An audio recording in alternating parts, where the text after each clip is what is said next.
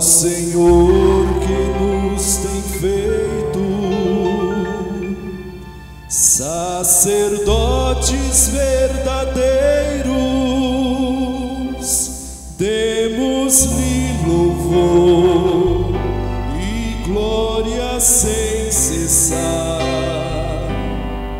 pois seu sangue